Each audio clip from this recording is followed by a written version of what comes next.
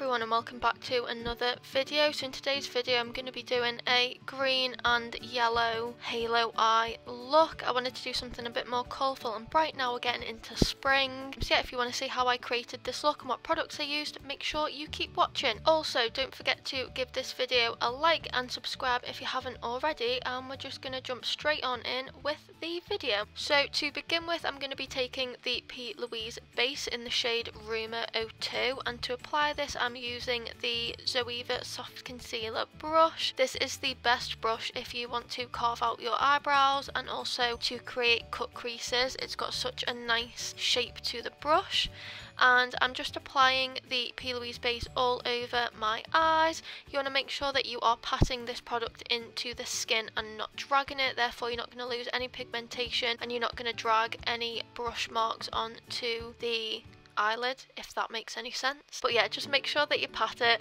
and then it'll evenly distribute all of the product out and it will leave you with a flawless base for your eyeshadow. Next up I'm going in with the Morphe 12p palette. If you guys love colour you need to get this palette. It is perfect for anyone that just wants one easy eyeshadow palette that's quite small that will introduce you into using a little bit more colour and I am taking the lightest green shade here and I'm just applying this to the outer edge and the inner corner of my eye and leaving a space right in the centre for the yellow halo effect and then I'm just doing the same on the other eye. I'm swapping over brushes as well just to diffuse out the edges to make sure that the lime green is blended really nicely. Make sure that nothing is too harsh. Even though this look is quite structured, you want to make sure that you're blending out your shadows for a nice flawless finish.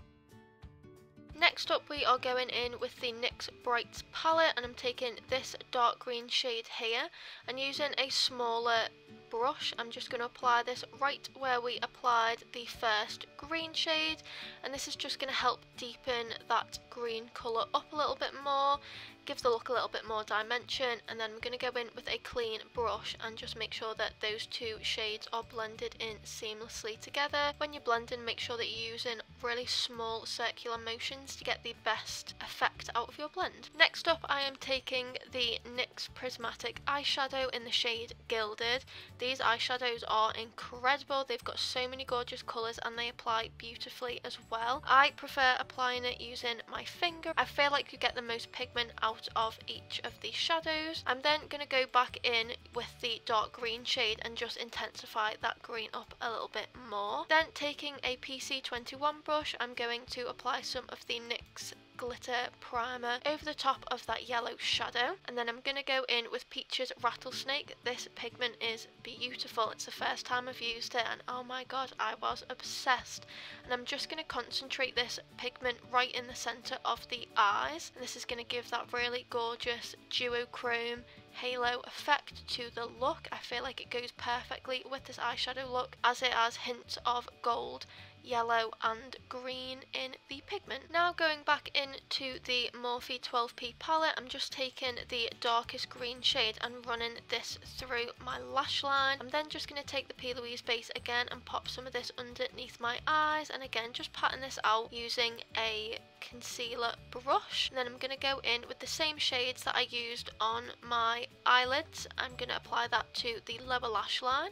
So we're going in with the dark green first, blending that out with the more pale green. And then I'm going to pop the gilded yellow eyeshadow right in the centre and this is just going to mimic the halo effect but underneath the eye. I found it easier to apply this gold shadow to the lower lash line with a brush just because my finger was way too big and I would end up getting mess everywhere. I am now applying the e.l.f. Hydrating Primer all over my skin and then for foundation I'm going in with the Maybelline Fit Me Foundation in the shade 103 and to apply this I'm using a Real Techniques buffing foundation brush and I'm applying this in very thin light layers. And then if I feel like I need more coverage I'll just go in with another thin light layer rather than packing a load of product on and going cakey. So if you build it up in thin layers it will apply a lot nicer. And then I'm patting out the foundation using a Real Techniques sponge. I'm then going to go in with the Maybelline Fit Me concealer and this is in the shade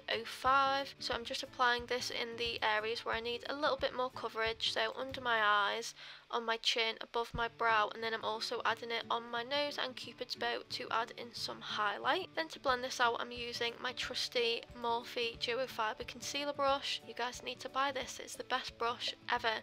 Blends out your concealers perfectly. And I'm just gonna pat this out again with all of your cream products. You want to make sure that you are patting them and not swiping them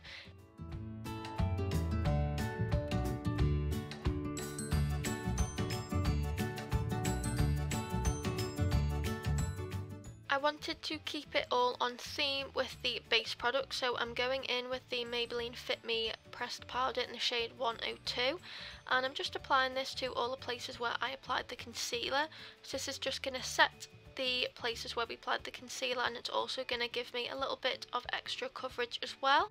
Then for bronzer, we're going to go in with the Hoola Benefit Bronzer. This is such a gorgeous bronzer. I feel like it's everyone's holy grail. It's perfect because it can be used for so many different ways. You can use it to bronze, you can use it as an eyeshadow. It's honestly such a stunning colour, especially if you are pale like me. It's going to look absolutely beautiful on your skin and give you a really nice, healthy bronze look. I'm also applying a little bit to my forehead just to warm up my face. Then I'm going to go in with my Smashbox contour kit and apply a little bit of the contour shade just to the hollows of my face, so where I want to look nice and contoured. Then using the same Smashbox kit, I'm going to go in with a little bit of this really pretty pink blusher.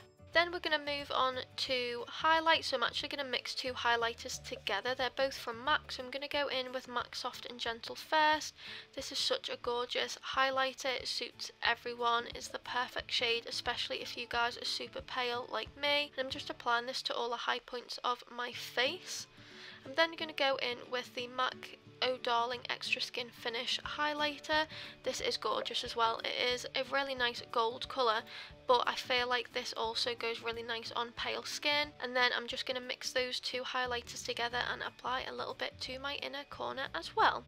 For mascara, I thought we would mix things up a little bit, so I'm using the Benefit Bad Gal Bang Mascara, and I only had to apply one coat of this. It is a beautiful mascara, and it looks really, really nice on the lashes. The only thing is, it will never beat my Soap and Glory Thick and Fast, but I do really like this mascara as well. Then for brows, I'm just going to use the Benefit 24 Hour Brow Setter. I'm just going to brush my brows through into place. I don't use any coloured brow gels just because I do not need to. So for lips, I wanted to keep them nice and nude as I just felt like I didn't want to take away from the eyeshadow look. I wanted to keep it quite neutral so that all the focus was on the eyes.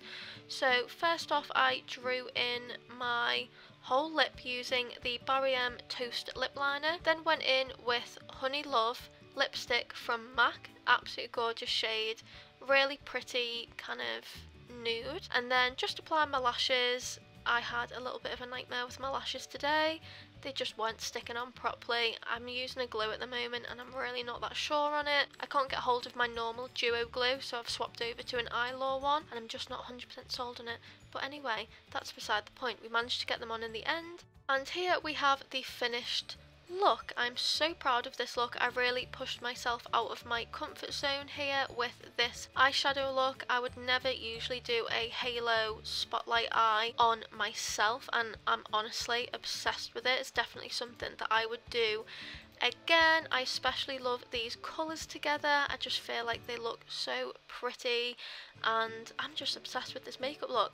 Anyways, I hope you guys enjoyed this video. If you did, make sure you give it a thumbs up and subscribe if you haven't already. And I will see you all in my next video. Bye everyone!